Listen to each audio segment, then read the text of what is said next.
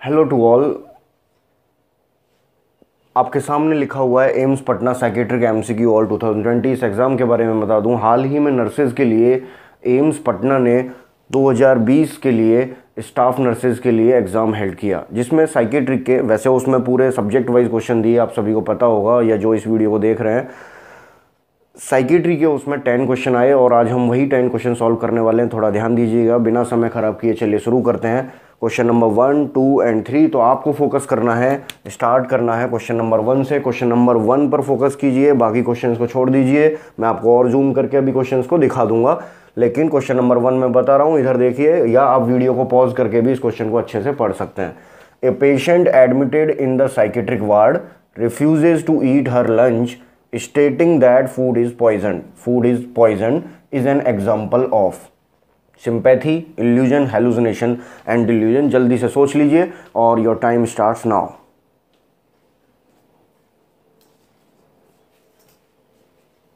चलिए तो question number one आपने सॉल्व कर लिया होगा। अपने अपने आंसर्स मैं बता देता हूँ। एक पेशेंट है जो एडमिटेड है साइकेट्रिक वार्ड में और वो रिफ्यूज़ कर रहा है ईट को। खाना खाने से मना कर रहा है। या अपने लंच को खाने से मना कर रहा है और बोल रहा है स्टेट कर रहा है कि द फ़ूड इज़ पॉइजन के खाने में पॉइजन मिला हुआ है इज़ एन एग्ज़ाम्पल ऑफ़ देखिए सिंपैथी कहीं किसी एंगल से आपको लग रहा है सिंपैथी नहीं, ये सिंपैथी नहीं है। इल्यूजन और हेलुजनेशन बहुत ही सिंपल फॉर्म है। आजकल सभी नर्सिंग के बच्चे कोचिंग कर चुके हैं, सभी को पता है कि इल्यूजन हेलुसिनेशन क्या होते हैं।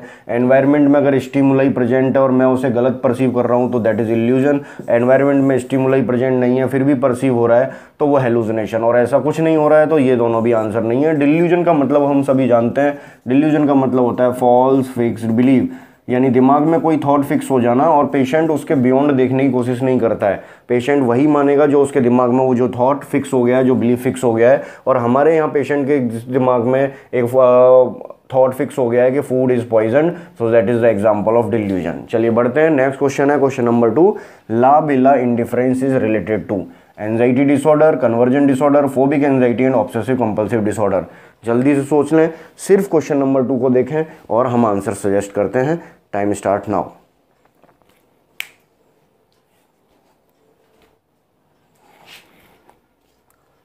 ठीक है जी स्टार्ट करते हैं। लाबिला इंडिफरेंस शायद आपने सुना भी हो और शायद आपने नहीं भी सुना हो, क्योंकि एक अच्छे लेवल का क्वेश्चन है, जो तीन चार बार तो पिछले तीन चार साल में आ ही चुका है। तो लाबिला इंडिफरेंस के बारे में बता दूँ। लाबिला इंडिफरेंस होता क्या है? कभी कभी क्या होता है स्ट्रेस का लेवल इतना ज़्यादा हाई होता है कि पेशेंट का ध्यान उस स्ट्रेस से हटाने के लिए बॉडी पर जब फ़िज़िकल सिम्टम आते हैं, ध्यान दीजिएगा स्ट्रेस की वजह से आपने एक डिफेंस मैकेनिज्म पढ़ी होगी कि स्ट्रेस अगर कन्वर्ट हो जाए फ़िज़िकल सिम्टम में स्ट्रेस अगर कन्वर्ट हो जाए फ़िज़िकल सिम्टम में तो उसे कहते हैं कन्वर्जन डिफेंस मैकेनिज्म यहाँ डिसऑर्डर लिखा हुआ है बट समझिएगा पहले ध्यान से स्ट्रेस अगर कन्वर्ट हो जाए फ़िज़िकल सिम्टम में तो क्या कहलाता है? कन्वर्जन डिफेंस मैकेनिज्म स्ट्रेस अगर कन्वर्ट हो जाए फ़िज़िकल सिम्टम में तो क्या वो कहलाता है कन्वर्जन डिफेंस मैकेनिज्म, या जब ये चीज़ें ज़्यादा होने लगती हैं बार बार होने लगती हैं तो उसे कन्वर्जन डिसऑर्डर हम कहते हैं।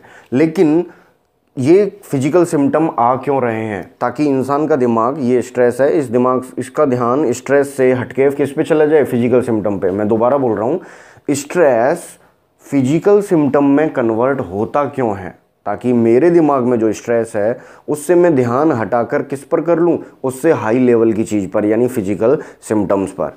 तो एक्चुअल में ये होता है कन्वर्जन डिसऑर्डर में। लेकिन कभी कभी क्या होता है स्ट्रेस का लेवल इतना हाई होता है कि फ़िज़िकल सिम्टम तो आ रहे हैं मरीज़ पर, लेकिन फिर भी उसका ध्यान उस फ़िज़िकल सिम्टम पर नहीं जा रहा है। दोबारा बोल रहा हूँ स्ट्रेस का लेवल इतना ज़्यादा हाई है कि उसका ध्यान फ़िज़िकल सिम्टम्स पर नहीं जा पा रहा है। यानी lack of concern about is physical symptoms या lack of concern about is ill symptom इसको बोलते हैं क्या? लाबेला इंडिफरेंस और डायरेक्टली आप लगा सकते हैं कि ये किसमें पाया जाता है? कन्वर्जन डिसऑर्डर में। ठीक है? नेक्स्ट चलते हैं। राइट आंसर है बी क्वेश्चन नंबर तीन।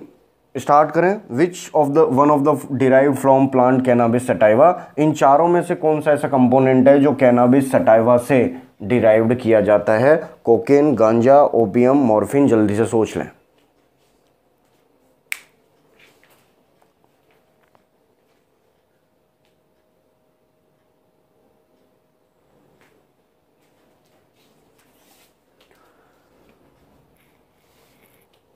चलिए शुरू करते हैं। कैनाबिस सटाइवा या आपने अगर एक बॉटनिकल नेम सुना हो तो सटाइवा इंडिका एक हेम्प प्लांट एक पौधा एक पौधा जिससे कई तरह के नशीले पदार्थ बनते हैं। सटाइवा इंडिका या हेम्प प्लांट जिसे कैनाबिस कहा जाता है। कैनाबिस की कई फॉर्म है, जैसे कि सीधी सिंपल भाषा में बोलूँ तो भाँग, चरस और गांजा। द राइट आंसर इज़ गांजा। भाँग चरस इन ganja that is cannabis so right answer is directly indicated cannabis sativa right answer is ganja. आपको ये तीनों क्वेश्चन समझ में आ गए होंगे। बढ़ते हैं नेक्स्ट क्वेश्चन की तरफ़।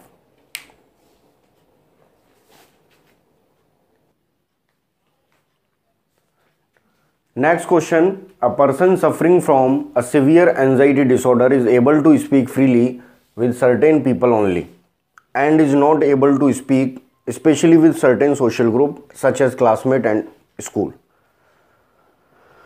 Selective mutism aphasia mutism epilepsy सोच लें वीडियो को पॉज करके, ताकि आपका समय भी बचे और क्वेश्चन भी पढ़ने में आपको समय मिल सके। थोड़ा जल्दी कीजिएगा और your time start now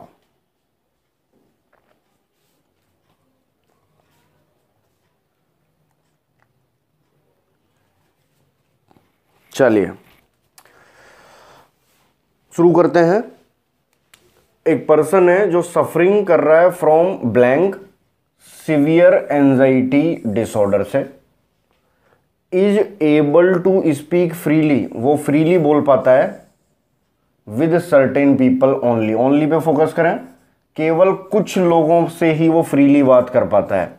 And is not able to speak especially with certain social group और जबकि कुछ लोगों से तो फ्रीली बात कर पाता है, पर कुछ सोशल ग्रुप से वो फ्रीली बोल नहीं पाता है नॉट एबल टू स्पीक मतलब कहीं तो वो फ्रीली बोल रहा है और कहीं वो नॉट एबल टू स्पीक बिल्कुल बोल भी नहीं पा रहा है. Such as classmates at a school जैसे कि क्लासमेट्स का ग्रुप है, वहाँ वो बिल्कुल नहीं बोल पा रहा है.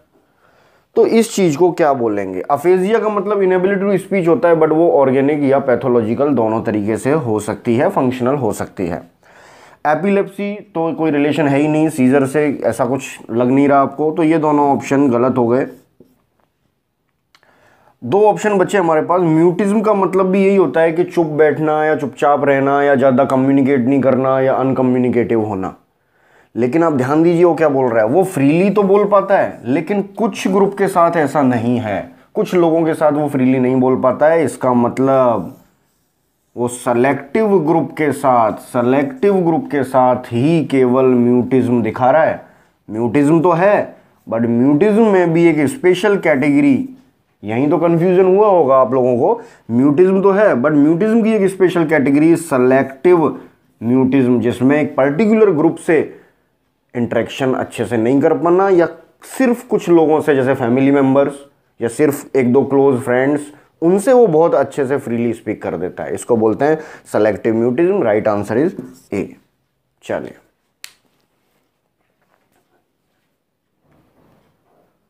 चलिए क्वेश्चन नंबर फाइव है।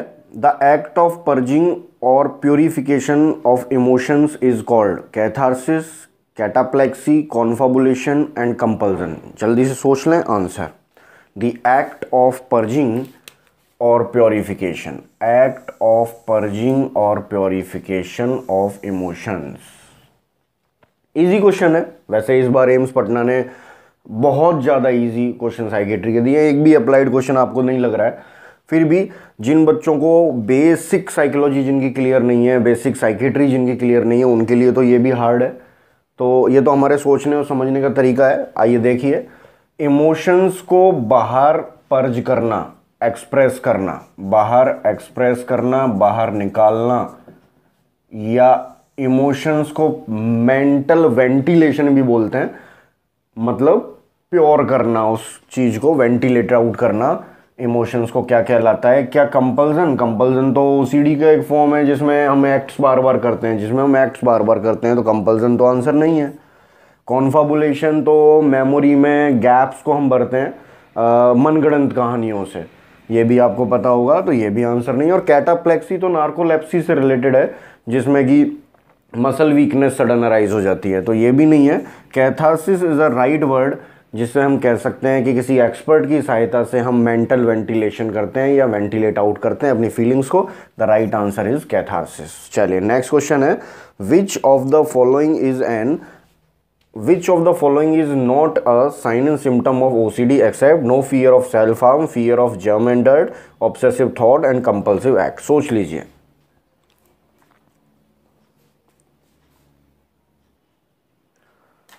आपने आंसर सोच लिया होगा अपना चलिए सॉल्व करते हैं इसको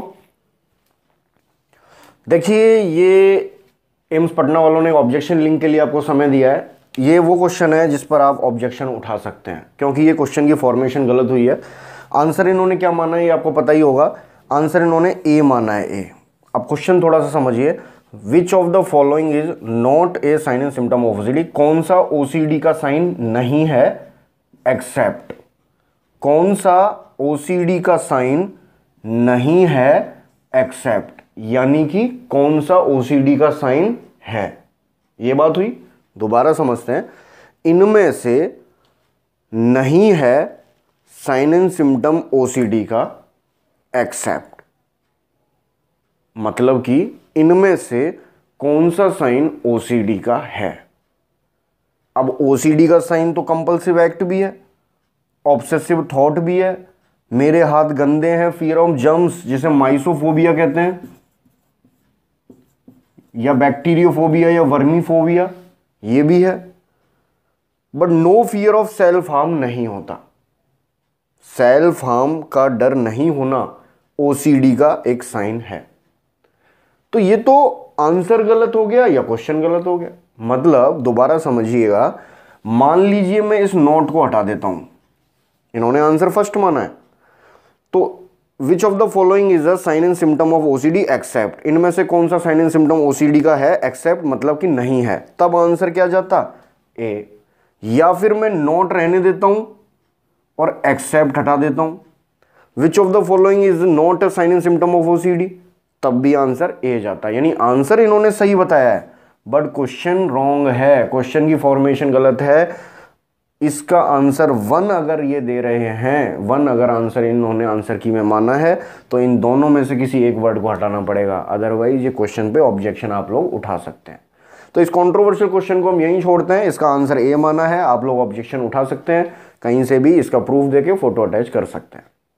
आगे चलते हैं क्वेश्चन नंबर सेवन की तरफ़। According to Erikson eight stage of development आठ स्टेज होती हैं, और मैं आपको बता दूँ इरिक्सन के ऊपर इन्होंने दिया है initiative versus guilt initiative versus guilt और मैंने पूरा एक वीडियो बना रखा है psycho social development theory Erikson की, आपने वो देखा होगा। अभी तक आपने अगर मेरा चैनल सब्सक्राइब नहीं किया है तो आप सब्सक्राइब करें ओपेन सर लेक्चर और उस पर जाएँ इरिक्शंस की एट स्टेज की साइको सोशल डेवलपमेंट थ्योरी वो वीडियो है। और एक सीरीज़ और चला रहे हैं हम मौजबी एनक्लेक्स क्वेश्चन की। उसमें आप देख लीजिएगा फ़र्स्ट या सेकेंड या थर्ड क्वेश्चन ही इनिशिएटिव वर्सेज गिल्ड पर है तो भी आपको डायरेक्ट आंसर मिल जाएगा। तो जो लोग मेरे वीडियोज़ देख रहे हैं, उनको आंसर पता होगा। फिर भी एक बार डिस्कस कर लेते हैं। हमारी हिंट होती है कि पहली जो होती है वो ट्रस्ट वर्सेज मिसट्रस्ट होती है, और उसके बाद मैंने जो ट्रिक बताई है वो ए डबल आई डी है, यानी ऑटोनोमी है, फिर इनिशिएटिव है, फिर इंडस्ट्री है। इनिशिएटिव वर्सेज गिल्ट यहाँ पर आ रहा है। ये होता है ज़ीरो से एटीन ये होता है वन टू थ्री ईयर्स ये होता है थ्री टू सिक्स ईयर ये होता है सिक्स टू ट्वेल्व ईयर्स तो अब बहुत ही आसान हो गया आपके लिए। आई मतलब initiative versus guilt A double I D मैंने ट्रिक बताई थी आपको उस वीडियो में। तो तीन से छः साल या तीन से पाँच साल पे जो आ रहा है, वो हमारा डायरेक्ट आंसर है। चलिए बढ़ते हैं नेक्स्ट क्वेश्चन की तरफ़। चलिए स्टार्ट कीजिए question number eight which of the following is expected in organic mental disorder appropriate behaviour intact memory orientation to person place time and disorganization of thought सिर्फ़ focus कीजिए क्वेश्चन नंबर एट पर जल्दी से solve करते हैं question number eight कौन सा expected feature है? ऑर्गेनिक मेंटल डिसऑर्डर में। बहुत ही आसान क्वेश्चन है, आप सभी को पता होगा ऑर्गेनिक मेंटल डिसऑर्डर जब हम I C D ten classification पढ़ते हैं तो एफ़ ज़ीरो से एफ़ टेन एफ़ ज़ीरो से F zero nine F zero से एफ़ ज़ीरो नाइन पे कौन से डिसऑर्डर आते हैं? ऑर्गेनिक मेंटल डिसऑर्डर जिसमें दो फ़ेमस डेलीरियम और डिमेंशिया तो ये किसके बारे में क्वेश्चन हो रहा है? Delirium and dementia organic word आते ही डेलीरियम डिमेंशिया आप सभी के दिमाग में आ जाना चाहिए। तो अप्रोप्रिएट बिहेवियर क्या होगा किसी डिसऑर्डर में? नहीं। इंटैक्ट मेमोरी नहीं। यहाँ अगर मेमोरी इंपेयरमेंट लिखा होता तो शायद आंसर हो जाता। ओरिएंटेशन ओरिएंटेशन हो रहा है। प्लेस पर्सन टाइम का। ऐसा कैसे डिसऑर्डर हो सकता है? जबकि डेलीरियम के लिए तो एक मेन फीचर हम पढ़ते ही हैं। क्लाउडी ऑफ़ कॉन्सियसनेस तो फिर ओरिएंटेशन नहीं, यहाँ अगर डिसओरिएंटेशन होता तो आंसर हो सकता था। तो ये भी आंसर नहीं है। Disorganization of thought is the right answer चलिए next question the disulfiram therapy use in disulfiram drug ये तो मेरे हिसाब से ऐसी फ़ेमस ड्रग है एक तो पहले ही शराब या अल्कोहल वाला चैप्टर हो, जिसमें शराब या अल्कोहल वर्ड सुनते ही हमारा इंटरेस्ट बढ़ जाता है उस टॉपिक को समझने में। और डाईसल्फीराम एक फ़ेमस ड्रग है जो हमें कॉलेज में ही सिखा दी जाती है कि हाँ एक ऐसी ड्रग जिसको खिलाने के बाद अगर रोगी या शराब, व्यक्ति शराबी पीता है तो उसको नॉइजिया वोमिटिंग बीपी का कम होना बीपी का कम होना हाइपोटेंशन फ्लशिंग स्वेटिंग ये सब फीचर्स उसको आते हैं एब्डोमिनल पेन हो सकते हैं वॉमिट सिवियर हो सकती है, मरीज़ की डेथ भी हो सकती है। तो डाईसल्फीराम पर ऐसे सिम्टम आते हैं और सीधे सीधे ये आपको इंडिकेट करेगा कि क्रोनिक एल्कोहल वाले के लिए डाईसल्फीराम देते हैं। अभी मैंने आपको डाईसल्फीराम के सिम्टम बताए, जिसमें बोला नॉइजिया वोमिटिंग हाइपोटेंशन तो ये हाइपोटेंशन ही है, ठीक है? अब वो क्यों होता है, उसके लिए आपको मेरे वीडियोस देखें या आप बुक्स पढ़ें। हाइपरटेंशन नहीं हाइपोटेंशन बोला मैंने, ठीक है? तो डाईसल्फीराम डायरेक्टली आंसर जाएगा एल्कोहल वालों के लिए हम यूज़ करते हैं द राइट आंसर है C question number ten false sensory perception without real external stimuli देखिए, ये क्वेश्चन मतलब जब मैं साइकेट्री पढ़ाना स्टार्ट करता हूँ कोचिंग में या इंस्टीट्यूट में तो वहाँ सबसे पहले बोलता हूँ कि साइकेट्री की इम्पोर्टेंस क्या है? साइकेट्री की इम्पोर्टेंस ये है कि अगर किसी एग्ज़ाम में साइकेट्री के बीस क्वेश्चन हैं तो उसमें से दस क्वेश्चन बहुत ज़्यादा इजी होते हैं। और उन दस क्वेश्चन बहुत इजी में सबसे इजी जो क्वेश्चन होता है, जो हर एग्ज़ाम में आता ही आता है कि रस्सी है, सांप समझ लिया, बताओ क्या इल्यूजन के हेलुजेशन और रस्सी नहीं है और फिर भी अगर रस्सी दिखाई दे रही है, मैं दोबारा बोल रहा हूँ। सबसे इजी जो क्वेश्चन होता है, वो होता है इल्यूजन और हेलुजिनेशन के ऊपर। फॉल्स परसेप्शन हो रहा है हमारे क्लाइंट को बट स्टिमुलाई रियल में नहीं है। ऑब्जेक्ट नहीं है ऑब्जेक्ट नहीं है और फिर भी परसेप्शन हो रहा है। ऑब्जेक्ट अगर है, फिर परसेप्शन हो रहा है तो आंसर क्या जाता है? इल्यूजन ऑब्जेक्ट नहीं है, फिर भी परसेप्शन हो रहा है तो आंसर क्या जाएगा? हेलुजिनेशन डायरेक्टली आप राइट आंसर भी लगा सकते हैं। आज हमने टेन क्वेश्चन सॉल्व किए एम्स पटना साइकेट्रिक एग्ज़ाम के, जो कि 2020 में इसी साल अभी आए हैं। आगे भी मैं एग्ज़ाम पेपर को इसी तरीके से सॉल्व करवाता रहूँगा। अगर आप लोग चाहेंगे तो अगर आप लोगों को ये वीडियो वाकई में पसंद आया है तो आप कमेंट बॉक्स में जाकर मुझे ज़रूर अप्रिशिएट कीजिएगा। मैंने एक ब्रॉडकास्ट ग्रुप भी बनाया हुआ है, जिसमें नर्सिंग की सारी इन्फॉर्मेशन आपको मिल सकती हैं, हमारे वीडियोज़ के लिंक आपको मिल सकते हैं। आप WhatsApp group broadcast group join करने के लिए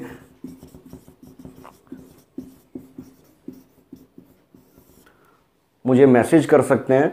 और इस नंबर पे मैं आपको ब्रॉडकास्ट व्हाट्सएप ग्रुप पर ऐड कर लूँगा। इसके अलावा अगर आप लोगों को ये क्लासेस समझ में आ रही हैं आप इनकी डिटेल स्टडी चाहते हैं इतना पॉसिबल नहीं हो पाता है यूट्यूब पर या ऑनलाइन क्लासेस में कि हम पूरी डिटेल्स में आपको आ, सारी चीज़ें पढ़ा पाएँ। फिर भी हम कोशिश करते हैं कि जो बच्चे यहाँ तक रीच नहीं कर पा रहे हमारे इंस्टीट्यूट तक नहीं आ पा रहे आ, तो उन लोगों को कैसे ना कैसे ही एक मोस्ट ऑफ़ द पार्ट उनको ऑनलाइन वीडियोज़ के थ्रू समझाया जा सके। फिर भी अगर आपकी इच्छा है कि आप ऑफलाइन कोर्स कोर्स को ज्वाइन करना चाहते हैं, जो कि पूरा सिक्स मंथ का है तो आप कॉल कर सकते हैं इस नंबर पर या इस नंबर पर या इस नंबर पर। तीनों में से किसी नंबर पर कॉल करें और ऑफलाइन क्लासेस के लिए हम, आप हमारे इंस्टीट्यूट को ज्वाइन कर सकते हैं। अगर आपको ये वीडियोस पसंद आए तो इस वीडियो को ज़रूर लाइक कीजिएगा। सब्सक्राइब कीजिएगा शेयर कीजिएगा और रिसर्च का वीडियो मैं जल्दी ही लाने वाला हूँ। तो बार बार आप जो डिमांड आप कर रहे हैं कि सर रिसर्च का वीडियो नेक्स्ट कब आ रहा है तो जल्दी वो आपको मिलेगा। Thank you very much and good luck for this exam result good luck